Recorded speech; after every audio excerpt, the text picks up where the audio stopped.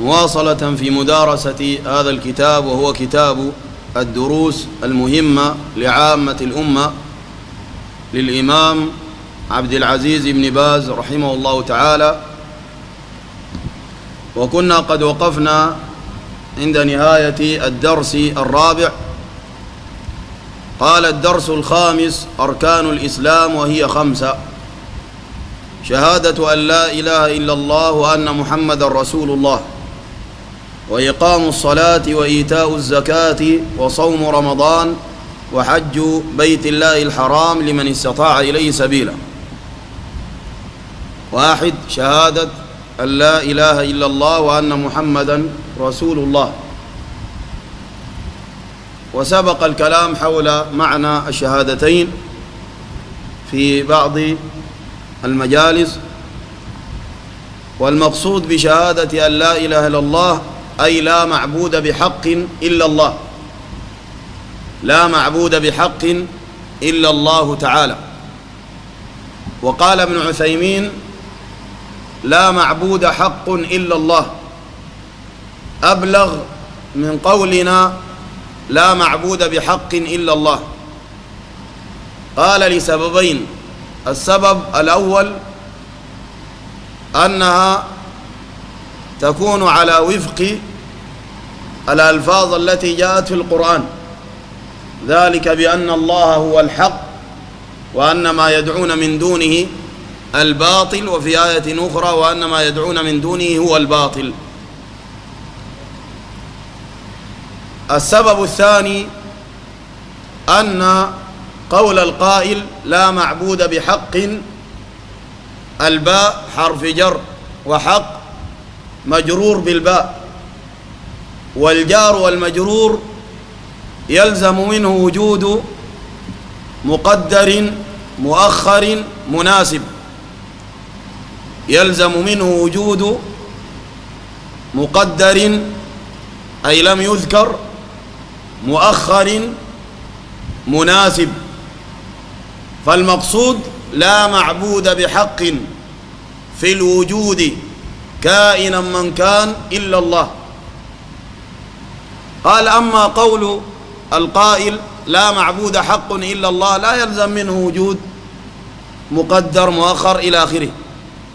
وفي البلاغة العبارة إن كانت مختصرة ومفهومة فهي أبلغ من التي تحتاج إلى مقدر والتي يطلب ويطال في ذكرها وفي شرحها.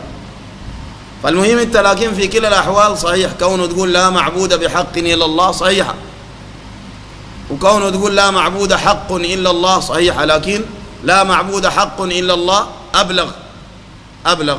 هكذا قال ابن عثيمين رحمه الله تعالى. طيب فالمعبودات كثيرة. من الناس من يعبد البشر ومن الناس من يعبد الأصنام ومنهم من يعبد الأشجار والأحجار كما سبق بيان ذلك في شرح القواعد الأربع. وهذه المعبودات عبادتها باطلة وإنما العبادة الحق والمعبود بحق هو الله وحده لا شريك له.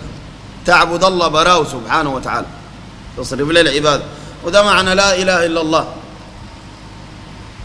وإلا ناس كتار بيقولوا لا إله إلا الله وهم شغالين ضده. وديل الله بيبغضهم شوف أي زول يقول كلمة التوحيد وشغال ضد التوحيد ده الله بيبغضه. والله وبينتقم منه. لو ما كتب له الهداية في الدنيا دي بينتقم منه عاجلا أو آجلا. الدليل قال تعالى يا أيها الذين آمنوا لم تقولون ما لا تفعلون؟ كبر مقتا عند الله. أن تقولوا ما لا تفعلون. زول يقول لو الله شرع الجهاد أنا بجاهد. الله يشرع الجهاد طوالي يتولى. يقول لا إله إلا الله يعني لا معبود حق إلا الله وأنا ما بعبد إلا الله سبحانه وتعالى.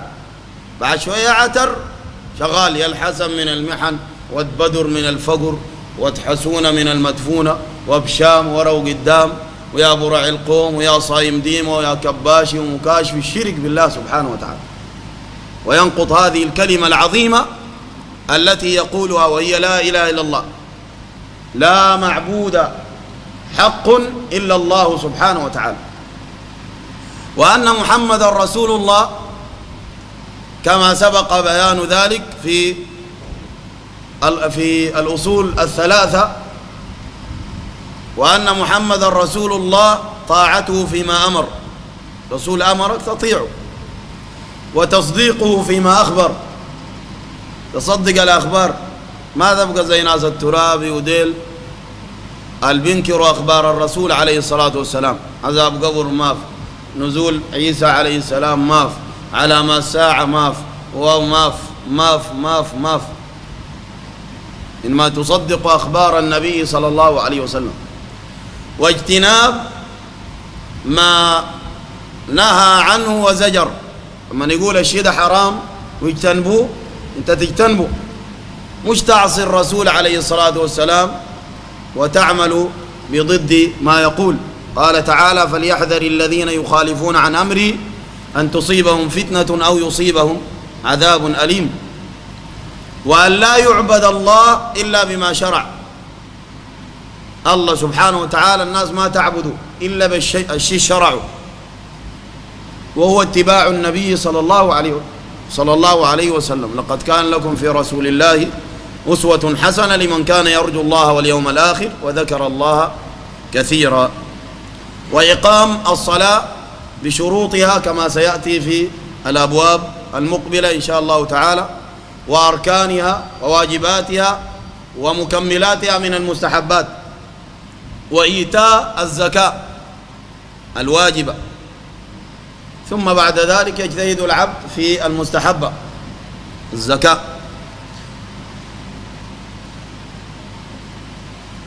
وصوم رمضان.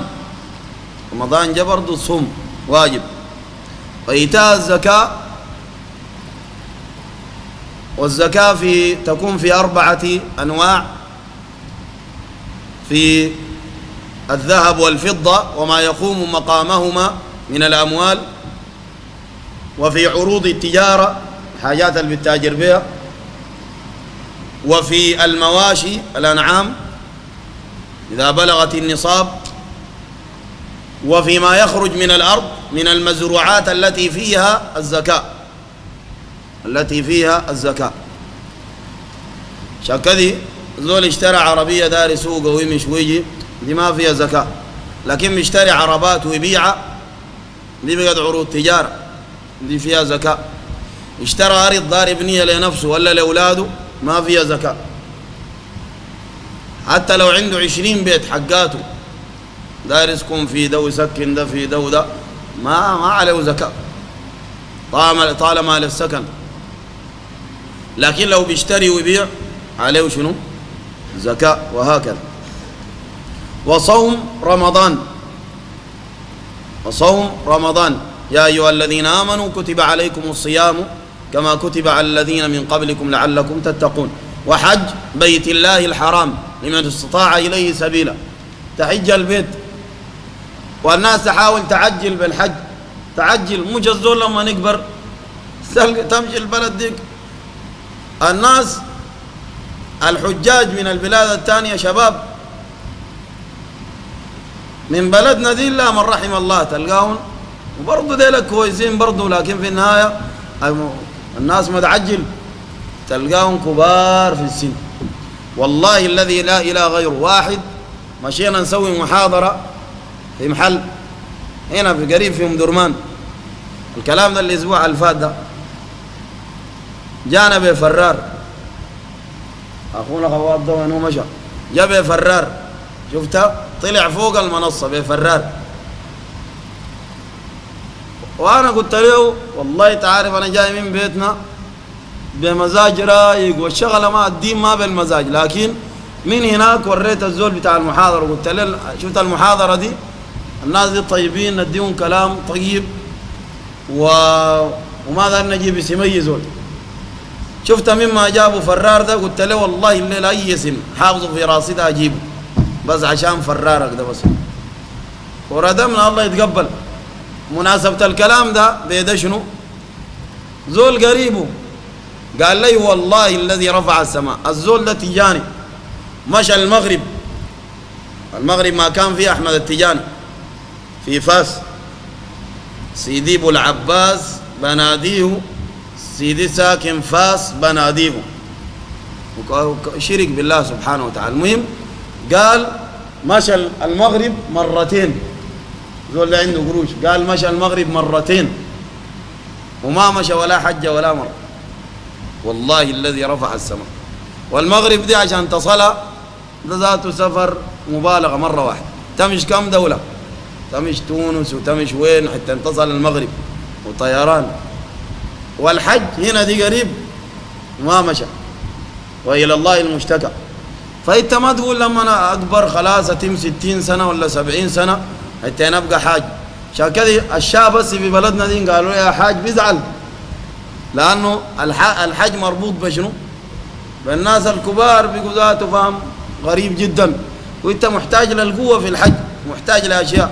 ولذلك إنت تعجل بالحج إذا وفقك الله تعالى.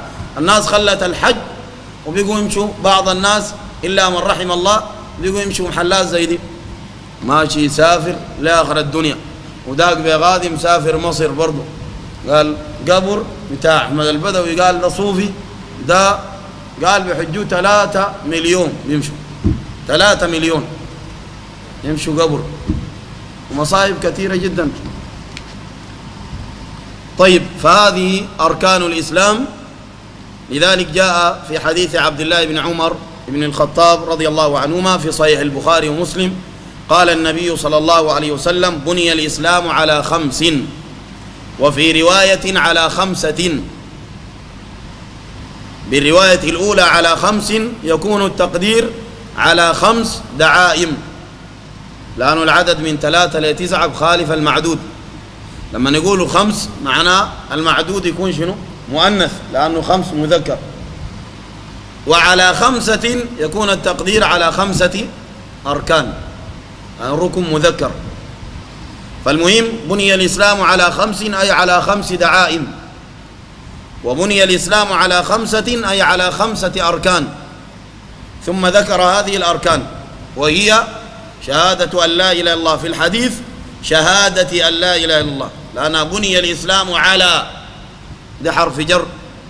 خمس شهادة أن لا إله إلا الله وأن محمد رسول الله. وإقام الصلاة وإيتاء الزكاة. وحج البيت وصوم رمضان في رواية قدم الحج على الصوم. وفي رواية في صحيح مسلم بني الإسلام قال هنا على خمسة في رواية وهناك قال على أن يوحد الله. وفي تلك الرواية ذكرها العباد في شرحه ذكرها العباد في شرحه للأربعين النووية. وتتمة الخمسين في كتابه فتح القوي المتين. ذكر هذه الرواية وفيها أن رجلا سأل ابن عمر قال يا ابن عمر وحج البيت وصوم رمضان؟ قال لا وصوم رمضان وحج البيت. دي رواية ذكرها العباد حفظه الله تعالى.